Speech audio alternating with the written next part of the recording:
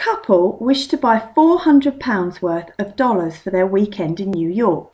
At the current rate, you can buy $1.25 for £1. How many dollars will the couple receive for £400?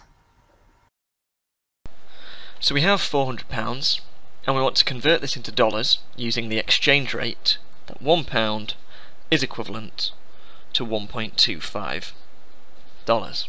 Okay? So clearly the calculation we need to do is 400 multiplied by 1.25.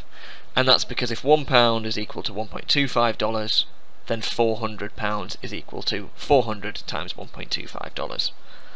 Now we could do this in a grid, and that'd take us a little while, but we would get there in time. However, there is a slightly quicker way of doing this. So notice that 0.25, that's a quarter, so we're timesing this by one and a quarter. So if we times something by 1.25, it's obviously increased by 25%, or increased by a quarter. Now a quarter of 400 is 100, and that's our increase. So we're just going to do 100 plus 400 is 500.